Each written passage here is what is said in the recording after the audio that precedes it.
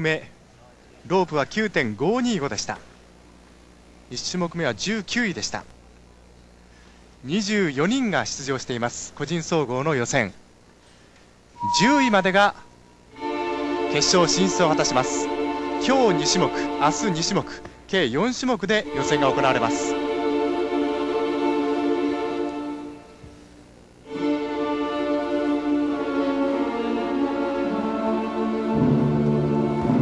よく決まりました。上に投げる時もまっすぐ投げる場合とこう面を下の方に向けながら投げる場合とありますね。はい。そして難しいのは目を変えながら投げるという動きがあります。さあ出てくるでしょうかね。今のは斜めに上げました。はい。これはまっすぐ上げた。足でキャッチしました曲はパッショナータ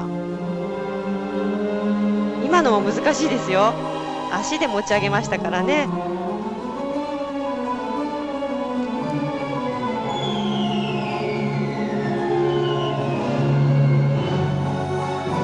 ジャンプして沿って片足、えー片手で取りました。はい